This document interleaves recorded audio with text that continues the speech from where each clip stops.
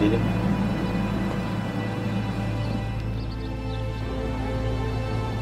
Benden saklayacak değilsin herhalde değil mi?